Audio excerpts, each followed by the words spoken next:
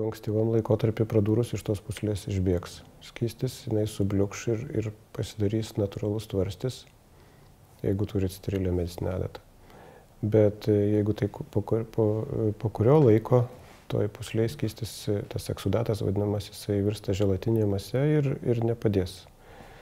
Tai jeigu tai yra nedidelės, neaukštos, nedaug pakilusios puslės, tai ir nudegimas nelabai didelis, galima palikti jas ramybėje ir viskas, net nekreipdėmės, organizmas pats susitvarkys. Jeigu yra didelio ploto puslės, tai reiškia ir nudegimas yra didesnis, reikia nuvažiuoti į ligoninę.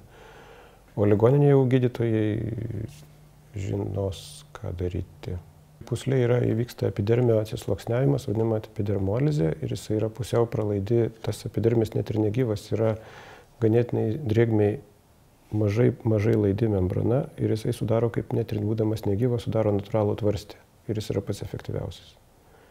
Papildomi tepimai efekto e, tai, per, kad ir negyvą epiderminę dos, jeigu jisai nusilupa, tada yra dažniausiai naudojami, tai ir galima nusipirkti vaistiniai sidabro preparatai, sidabro tepalai.